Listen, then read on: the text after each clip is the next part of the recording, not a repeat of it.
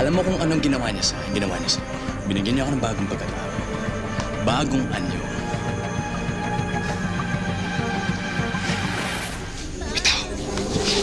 Tulong!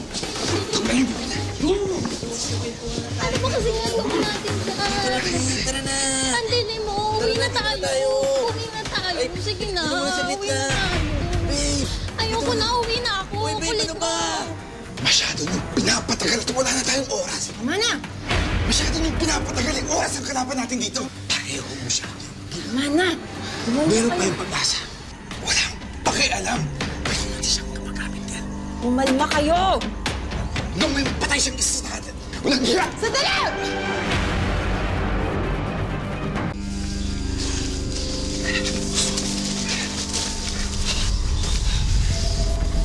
Kamali kayong binuhay niyo ba ako? Pagkakataon mo ito para magbago. Tulungan mo kami laban kay General.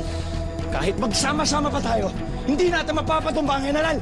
Matagal na yung pinano ko lahat at tuto pa rin niya yung mga yun. Sino si 4 at si 5?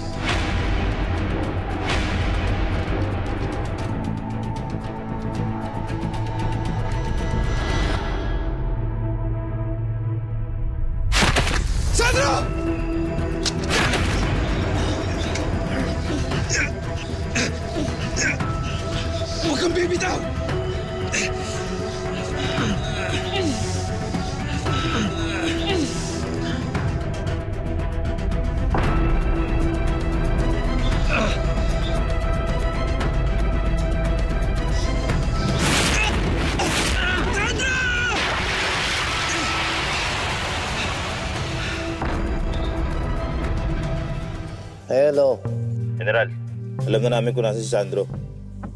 Nasaan siya? Inulog siya sa bangin. Patay na siya, General.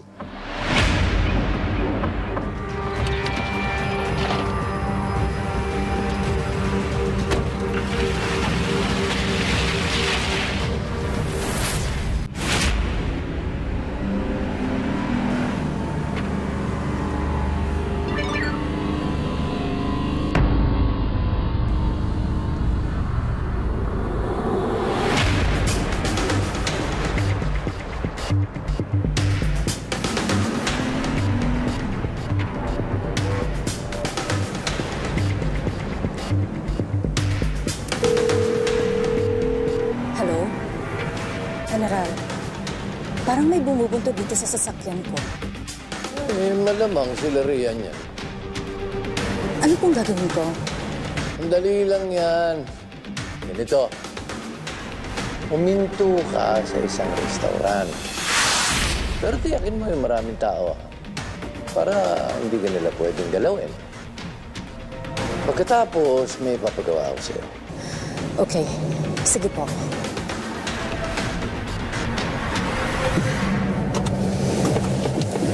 Ako na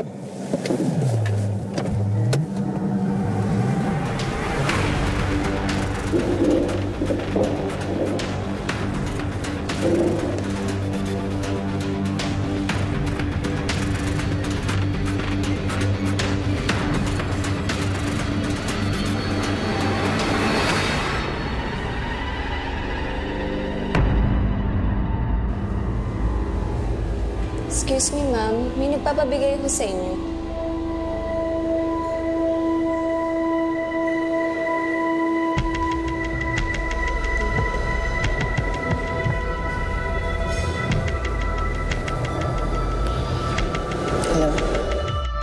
Hello? Kamusta ka na? Anak. Sayang naman pala yung pagluluksa ko. Diyan ka lang pala sa paligid-ligid. Bala ko pa namang padala ng magandang-magandang bulaklak si Corazon. Huwag mong idamay dito yung nanay ko. Wala siyang kaalam-alam. Eh di pigilan mo ko. Kaya nga pala. Mag-iingat ka. Pag-iingatan mo rin ang pamilya mo. Oh, and uh, congratulations nga pala sa kapatid mo. Hmm. Will they live happily ever after? Who knows?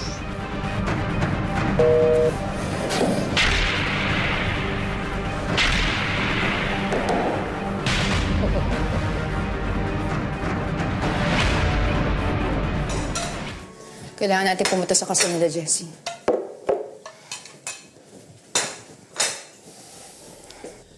Paano naman kung patibong yan? Pamilya ko pinag-uusapan dito. Pwede isang tabi lang. Sa kilala ko si Tiago, alam ko may pinaplano siya. Mas mabuti na rin na nandun tayo. Para kahit anong mangyari, makakatulong tayo sa kanila.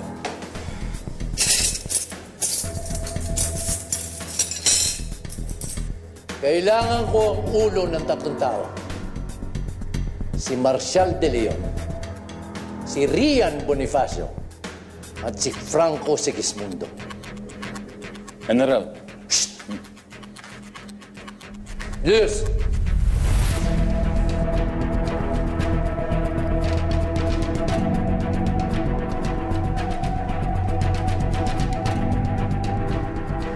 Tatlumpung milyon.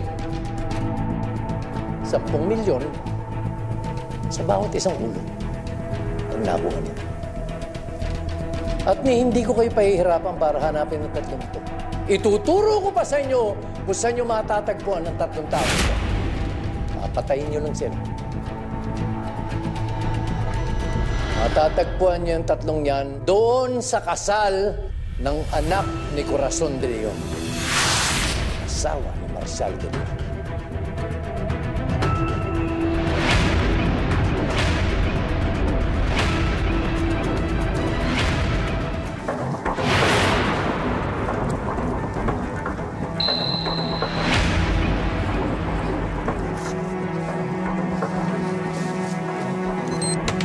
Jesse, today you celebrate one of life's greatest moments as you join together in the vows of marriage.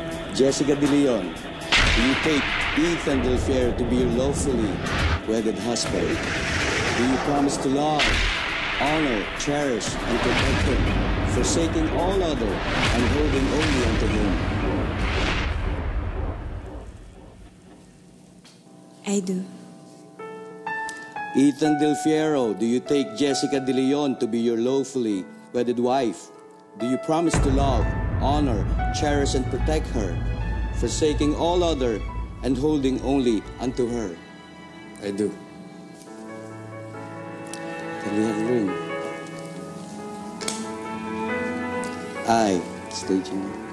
I, Jessica De Leon, Take Ethan Del Fiero to be my husband, take Ethan Del Fiero to be my husband, to have and to hold, to have and to hold, in sickness and in health, in sickness and in health, for richer or for poorer. for richer and for poorer. And with this ring, And with this ring, I promise my love to you. I promise my love to you.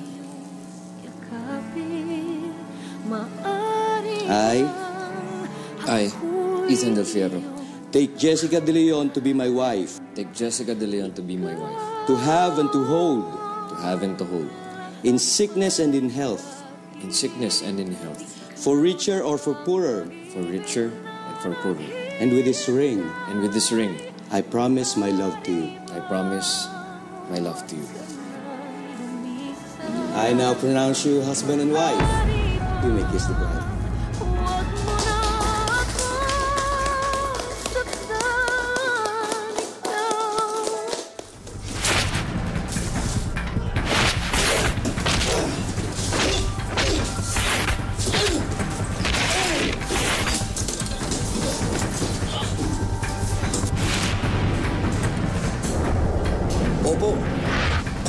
Yun mga Leon. Opo, nakabito na po yung bomba. Matapos na po yung kasal eh. Mapunta na po sila sa parking lot. Opo, mamaya na po, sasabog na po yun. Sige po.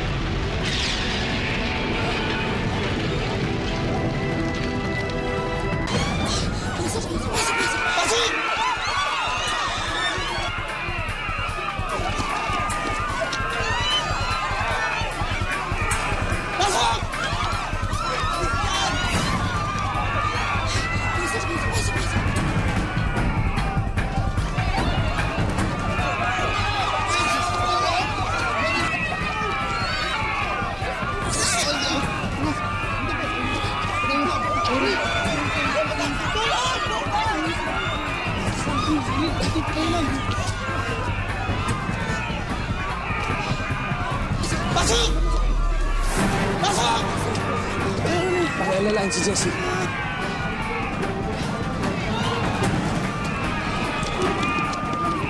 Lian! Lian! Hindi na kayo dumaan. Bigas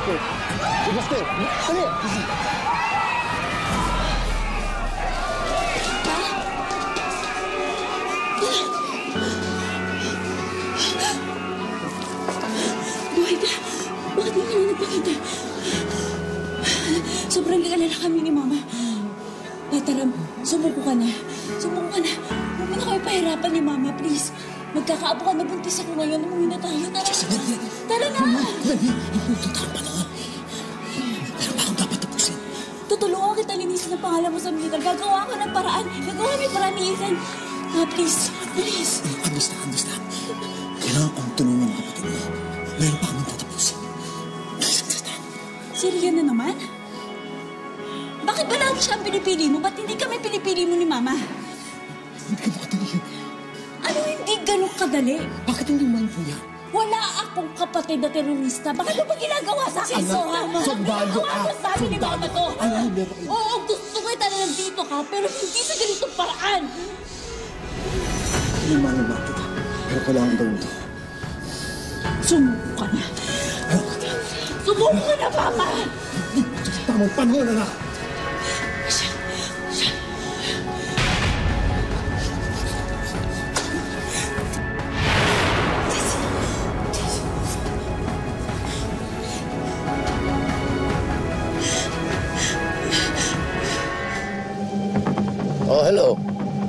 Niyo na.